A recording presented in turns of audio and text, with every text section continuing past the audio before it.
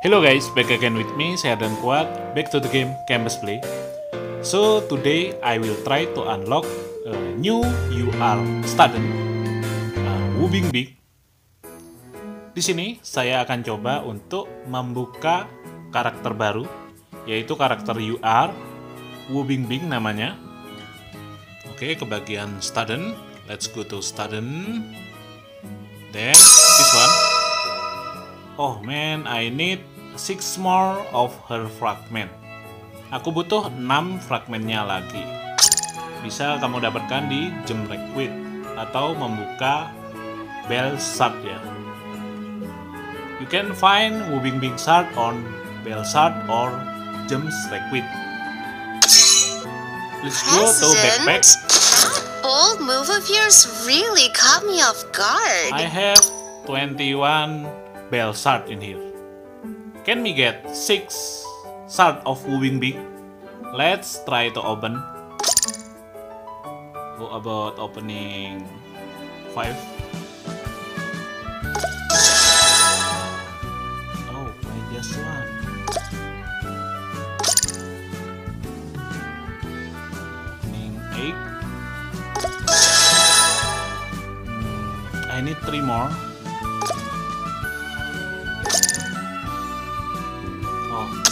Have this too. Ah, I see. I can use. Alright, I have total is 100 shard I think. Fragmentnya sudah komplit. Ayo kita buka karakternya. Let's go to student. Yes, this one. You are Billy. Wubing Big, the S and M Queen, I think. Let's combine.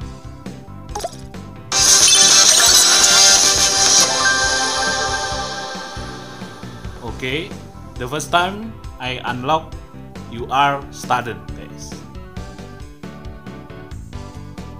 Kneel before me or die. Alright, Wubing Bing.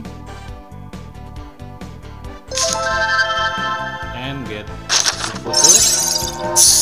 Uh, nice. Let's see her skills.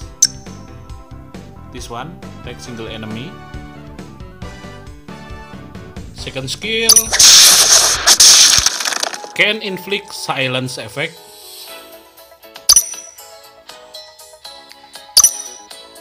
Restore HP and 1000 rage if the enemy is killed by Wubing Bing.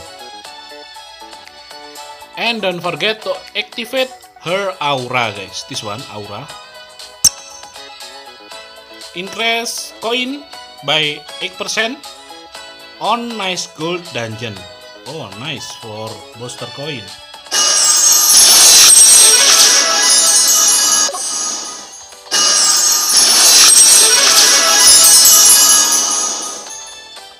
And after you unlock her, if you hard to find her fragment, just use universal or all purpose shard in here guys.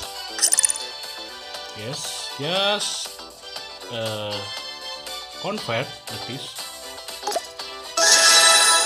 So I have 42 Ubing Bing shards. It's easy and simple. Let's see my login. My login is 22 days. Finally unlock Wu Bing Bing. It's likely you need 3 weeks or less than 3 weeks you can unlock Wu Bing Bing guys. Oke. Okay?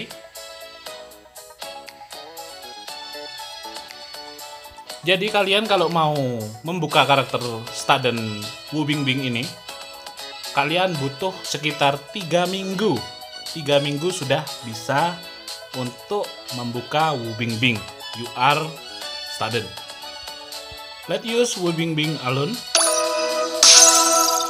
to test her solo power skill.